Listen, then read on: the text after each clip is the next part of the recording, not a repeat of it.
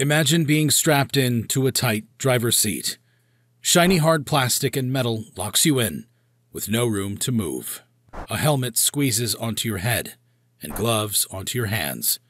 In front, a fan gulps air like a thirsty dog. Lights and numbers blink onto the steering wheel as loud engines roar awake all around you. Ten seconds. All you hear is the thunder rumbling from the 20 cars' hoods. You grab the gear pedal this is it. Your heartbeat is way louder than the screaming V6 engine behind you. The green light flashes. Floor the gas pedal. Over 900 horses shove you backwards, hard. Everything outside is just streaky smears. Four and a half G's smash you tight at over 160 miles per hour. Strong winds yank at your helmet, but can't rip it off.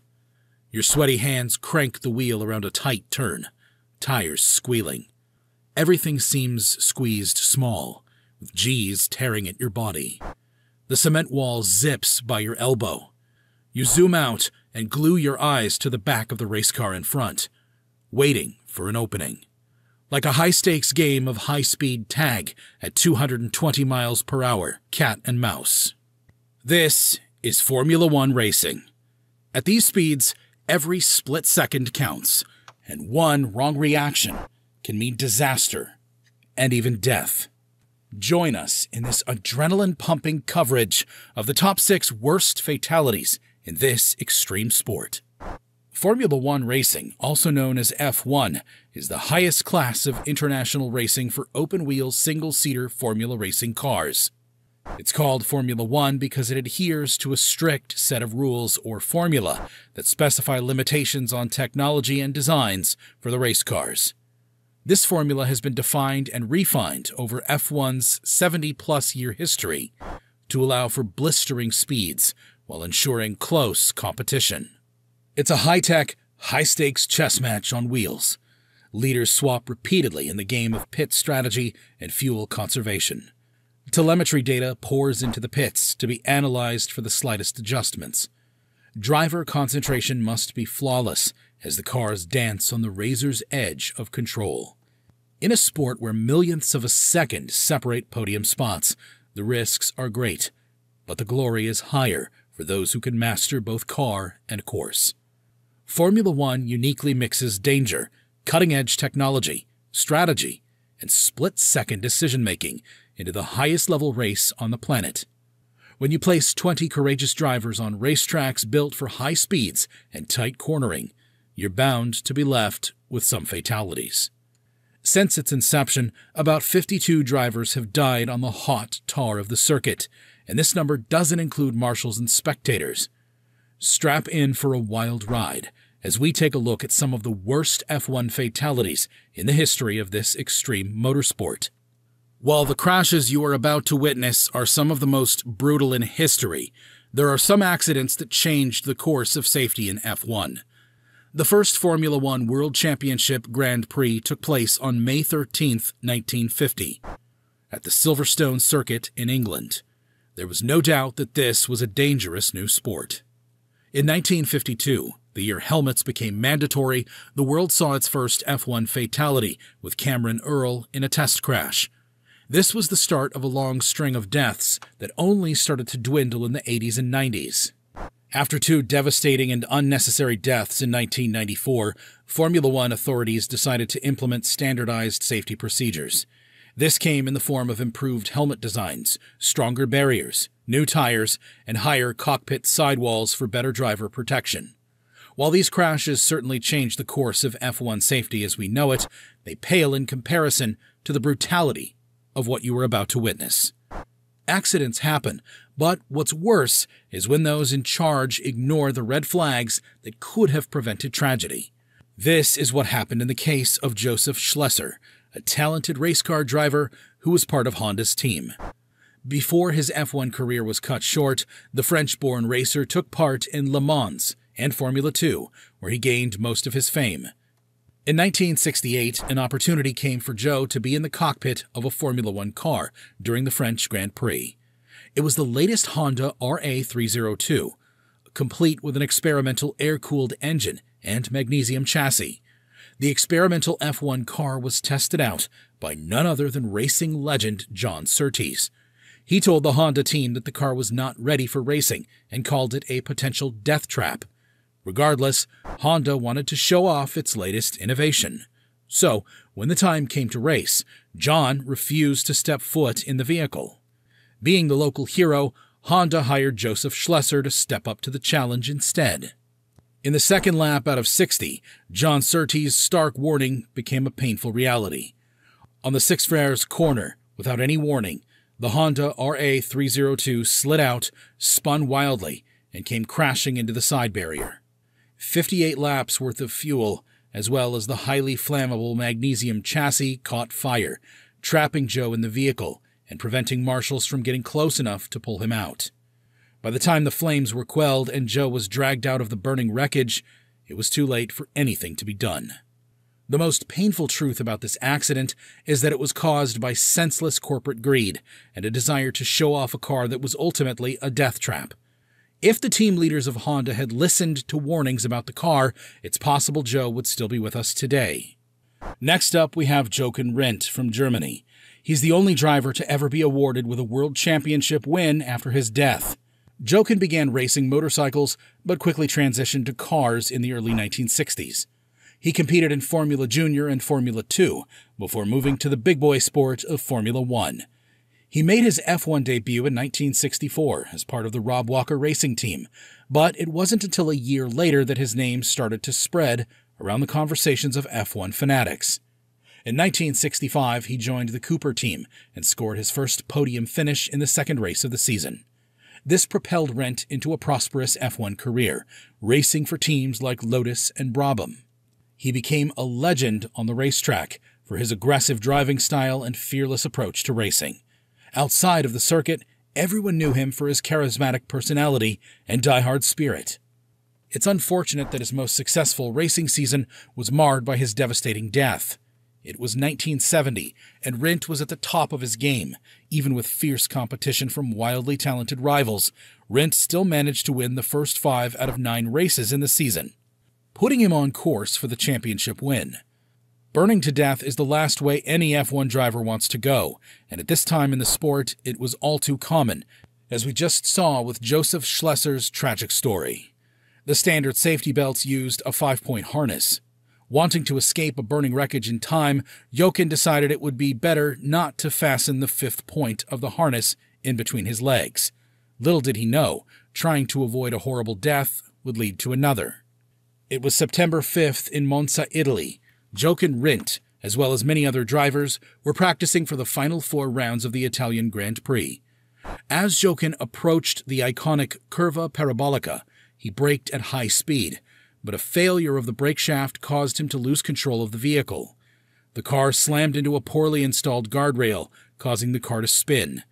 Because Jochen was not strapped in properly, he slid out of the bottom of his five point harness, fatally cutting his throat on the seat belt. Nothing could be done to save the 28 year old as his life force slowly ebbed away. Jochen might have missed the last four races after his fatal crash, but his commanding lead in the point standings meant he still snatched up the victory and was awarded the World Championship after his death. At least his death did not go in vain. Stricter seatbelt regulations were formed, and the need for well installed barriers became more apparent. The death that Jochen Rindt was trying so desperately to avoid was exactly what Roger Williamson faced just a few years later in 1973. He was extremely passionate about racing, well respected by many motorsport racers, and he was a two time British Formula 3 champion. With his speed and skill on the track, there was no doubt that Williamson could be a world champion. But this hope was cut short in his second Formula One race at the Dutch Grand Prix. It was only two weeks after a botched performance. After a poor start, Williamson managed to climb to 13th place with ferocious determination. As he was coming around a corner on his eighth lap, a catastrophic failure occurred. His front left tire exploded, sending the March 731 into a metal barrier. The car launched into the air and landed 230 feet away from the point of impact, spewing fuel and sparks as it slid on its roof. Williamson had not been severely injured in the crash, but he was now trapped inside a car that was being engulfed in flames. The only person to come to his rescue was David Purley, Williamson's close friend and an ex paratrooper. Two marshals stood and watched as Purley tried to overturn the car to save his friend's life. He even emptied a fire extinguisher on the wreckage, but it was not enough to stop the flames. Purley later admitted he could hear his friend yelling as the fire raged on. An investigation found that the barrier had been incorrectly installed on sand instead of concrete, which launched the car instead of stopping it. After this incident, it became mandatory for track marshals to wear fire retardant clothing, and the quality of their training improved. You may wonder why no other racers stopped to help. To sum it up, after the race, when Niki Lauda was asked why he didn't stop to help Roger Williamson, he simply said, I am paid to race, not to stop. It's clear this was a catastrophe that could have been avoided by proper planning and a little bit of human empathy. Another senseless accident that could have been avoided is that of Helmuth Koinigg, a 25 year old Austrian driver. Viewers beware. This next crash is likely the most extreme on the list. Helmuth started his racing career like many F1 drivers before him in a Mini Cooper. He had purchased this from the great Niki Lauda in the hopes of becoming the next Formula One champion to come out of Vienna. Before he made the jump to F1, Helmuth competed in touring car races, Formula V, and Formula Ford. After establishing a name for himself in motor car racing, he was eventually able to buy a seat with Scuderia Finotto, racing in the Austrian Grand Prix in 1974. He didn't qualify, but he won an opportunity to be a part of the Surtees racing team, created by John Surtees. After Helmuth proved his salt in the 1974 Canadian Grand Prix, he was beginning to establish a name for himself as the challenger to look out for in 1975. Unfortunately, he would not live long enough to see his victories come to life. On the 6th of October 1974, during the U.S. Grand Prix on Watkins Glen Racetrack, Helmuth Koinigg suffered a catastrophic suspension failure on turn number 7. A suspension failure can cause a complete loss of control of the vehicle, so, unable to turn, Helmuth traveled head on into the guardrail that was supposed to prevent serious injury. The fatal flaw was an incorrectly fastened guardrail. The bottom section buckled under the force of the car, while the top section remained intact. Helmuth went right through this gap, and the speed, force, and angle impacted his upper torso, tragically removing his head from his body. What would have normally been a low speed crash with minor injuries turned into a freak accident that traumatized everyone there that day. Helmuth Koinigg's death was easily avoidable had the guardrail been properly installed. However, nothing would prepare the F1 world for the catastrophic incident that claimed the lives of not one, but two people at the Kyalami racetrack during the South African Grand Prix. One of these men was the up and coming Tom Price, a Welsh racing driver who took Formula One by storm. Price got his start racing for the small team known as Token Racing, making the only start for them in the 1974 Belgian Grand Prix. He then joined the Shadow team and started to taste the sweet nectar of fame and success. He earned his first podium finish in Austria in 1975, and his second came in Brazil a year later everyone started to hear about the young Welshman, known for his daring speeds on the track and his genuine, down to earth personality off of it. Price's team considered him to be one of the best wet weather drivers around, keeping control of the car when others would seemingly spin out. Ironic, considering his fatal incident occurred in wet conditions. During a practice session for the 1977 South African Grand Prix, Tom was demolishing the competition. This was no small feat, since the competition included the likes of Niki Lauda and James Hunt. However, by the 22nd lap, Tom had fallen behind and was pushing his car to the limit to try and catch up. It was then that tragedy struck. Tom Price's teammate, Renzo Zorzi, experienced a fuel metering unit problem that prompted him to pull over to the left side of the main straight for help. A teenage marshal by the name of Frederick Janssen van Vuren ran across the road to extinguish the fire that started to blaze on Zorzi's engine. But in that split second, Price came around a corner, traveling at an estimated 170 miles per hour. He struck the teenage marshal in the foot, causing him to flip through the air and land on the other side of the road.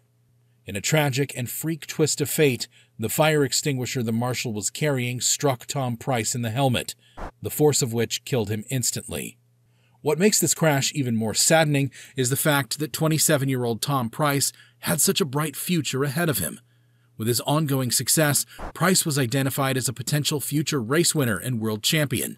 He was the only Welshman to win a Formula One race. Fortunately, the safety of Formula One has improved immensely since its inception.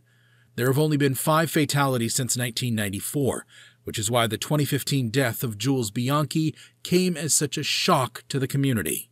It had been 20 peaceful years in the sport of F1 with no fatalities.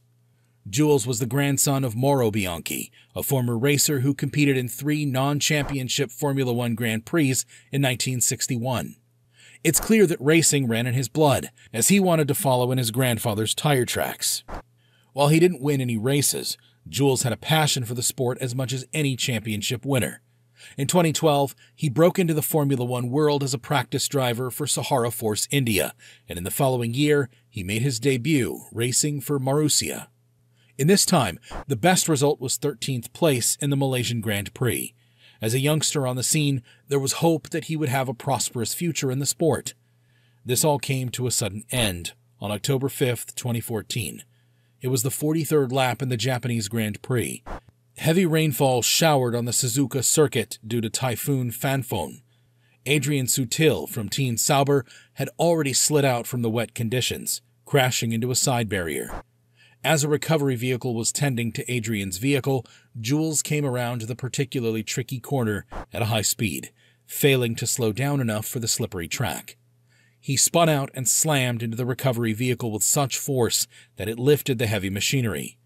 Jules suffered what is called a diffuse axonal injury, which is extreme trauma to the brain.